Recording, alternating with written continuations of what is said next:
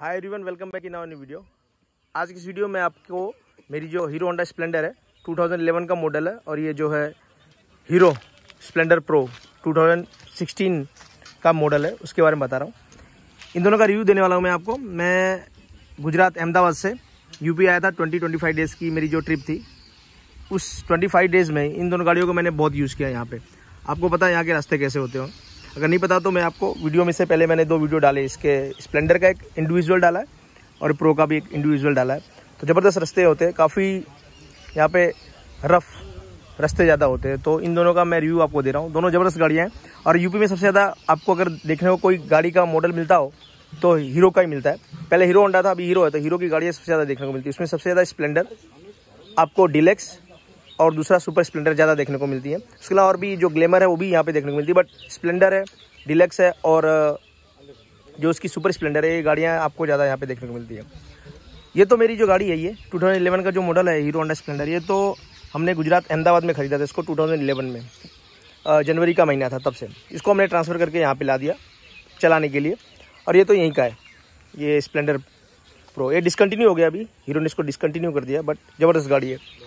अब देखो, इसको 25 डेज़ हमने काफ़ी यूज़ किया, काफ़ी चलाया बट गाड़ी को कोई समस्या नहीं। एवरेज भी ज़बरदस्त है पेट्रोल का जैसा भाव है। अभी तो दस रुपया कम हुआ है नाइन रुपीज़ समथिंग बट इन गाड़ियों को चलाया हमने, ज़बरदस्त। कोई ज़्यादा मेंटेनेंस का प्रॉब्लम है नहीं। हम आए, यहाँ पे हम इन गाड़ियों को ज़्यादा यूज़ नहीं करते। यहाँ पे साल भर पड़ी रहती है, हम साल में या छः महीने में आते हैं जब यहाँ पे तब यूज़ करते हैं। सबसे पहले इसका ऑयल चेंज करते हैं ब्रेक व्रेक देख लेते हैं। वो सेट रहता है, उसके बाद हम चलाना शुरू कर देते हैं। बाकी और गाड़ियों में तो जल्दी चालू भी ना हो, तुरंत दूसरी तीसरी किक में चालू भी हो जाती है। और ये तो हीरो है तो ज़बरदस्त है, सबसे स्ट्रॉन्ग गाड़ी थी। हीरो होंडा जब एक साथ थी, उसके बाद ये, जो ये सुपर स्प्लेंडर है सुपर स्प्लेंडर जो होती है, उसके साथ बिल्कुल उसके हिसाब से इसका आगे का जो है, ये मॉडल बनाया था इसको स्प्लेंडर प्रो में। तो ये भी मस्त चालू हो जाती है एक बार में तो ये रही है। इसमें भी ऑयल चेंज करते हैं हम लोग, उसके चलाना यूज़ करना शुरू कर देते इसको। कितना अच्छा लोकेशन है, पीछे बाग है, आप देख सकते हो। तो यही है, ज़्यादा इसमें कुछ और टेक्निकल कुछ नहीं, बस ऑयल चेंज करो ब्रेक आपका ठीक हो, और पेट्रोल भराओ और आप इसको मस्त इंजॉय करो। तो इन जो रास्तों पे यूपी के रास्तों पे, उत्तर प्रदेश के जो रास्ते हैं, उनमें ये दोनों गाड़ी एकदम सुपर बैठती हैं। ये रिव्यू है। मेरा मानना ऐसा है कि अगर आप परचेस करते हो तो हीरो की गाड़ियाँ यूपी के लिए बहुत बेस्ट है। यही देखना था। हमने ऑयल चेंज किया, आप देख सकते हो। थोड़ा लगा हुआ है। इसके भी ऑयल चेंज किया हमने। ज़बरदस्त गाड़ी है। दोनों आप परचेस करो, चलाओ यूज़ करो। ज़बरदस्त सीन है। इन दोनों को चलाने के यहाँ पे तो आज की वीडियो में बस इतना ही। Thanks for watching this video मिलते हैं अपने नेक्स्ट वीडियो में। रिव्यू मुझे ऐसा कहना था कि इनको मैंने इतने दिन चलाया ट्वेंटी फाइव डेज़ कोई प्रॉब्लम नहीं। ऑयल चेंज कराया था, मैंने आपको जैसे बताया, बस बस, ज़बरदस्त रफ गाड़ियाँ हैं। रफ आप चलाओ, थोड़ा ध्यान रखो सर्विस का।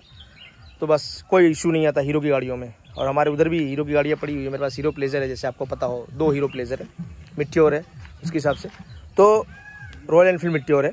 तो बस, यही आपको बताना था कि ये गाड़ियाँ इतनी ज़बरदस्त है कि बिना कुछ ज़्यादा एक्स्ट्रा मनी के, ये दोनों गाड़ियाँ यहाँ पे मस्त चलती है। सिंपल शोबर गाड़ियाँ हैं, ज़्यादा फैंसी नहीं है, ज़्यादा खर्च नहीं करना है आपको, बस यही आपको रिव्यू देना था कि आपके लिए ये बेस्ट गाड़ी है।